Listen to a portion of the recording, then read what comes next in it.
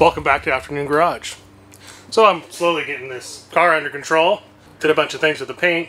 Did a bunch of things with the interior. Fixed some rips in the seats, that kind of thing. Um, I guess the last thing I have to do is just clean the engine, kind of send it off on its way. So that's what I'm going to be going over today. It's how to clean the motor, how I do it. I imagine there's lots of other ways you can do this. But let me show you how I do this. This car's been really interesting for me to repair. It's been a lot of stuff I had to do to the car to get the paint body correct on it. With all those antenna holes that I had to fill on the roof and the trunk. But I'm glad I got it under control. Was it worth it? No. Wasn't worth it. All the labor I had to go through. This car sat in this shed for, oh, I don't know, six months before I was ever able to find enough time to come out here and work on it. But really, I was just procrastinating. Procrastinating. Typically how one of these projects go. I've always wanted to own a cop car. This is a P71 Crown Vic. It's 2008. Uh, it has a few things done to it. It does have the original police interceptor wheels, has the original police box. So a lot of the stuff that's still left on it, you know, it doesn't have the, the spotlight. Although I have that and I can put it on, but I really don't want to make that effort. I have the light bar. The light bar is actually um, the same vintage of the car, so it kind of fits. And of course this push bar here, temporarily mounted it so I could, well, make it look like a cop car. Let's clean that motor. All right, ready to clean this motor.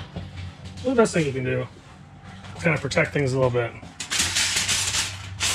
You can put the tinfoil at least around this.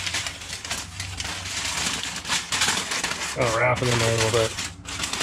Kind of protect that harness a little bit from water. I know it doesn't do much, but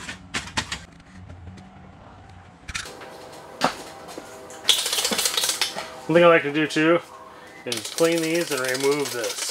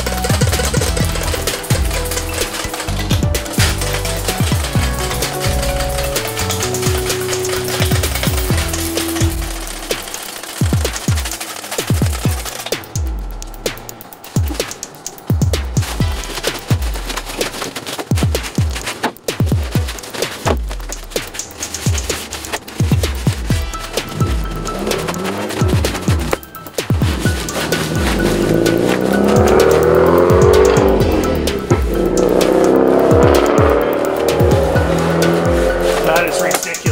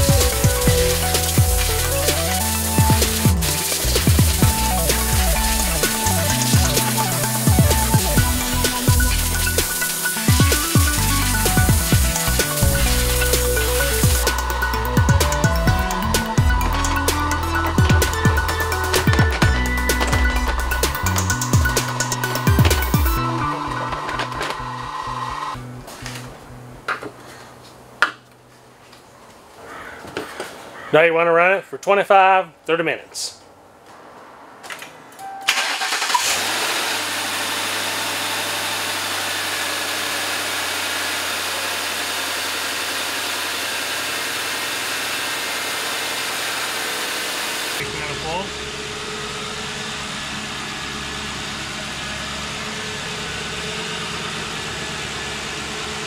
Really good, something you'd want to work on.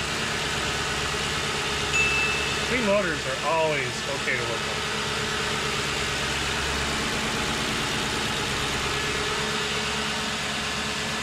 Alright, just about ready to call it done on this cop car. The last thing I need to do is clean that engine. And you can see how really all you need is really hot water. I have an instant hot water heater, so I can produce 140 degree hot water here. And super clean. What I do is I usually get the gallon jug, looks something like that. Then uh, mix it half and half with water, put it in a Zep bottle, label it. It's usually purple, so you know what it is. But uh, yeah, this stuff works really well. If you like learning things like this, subscribe. Until next time.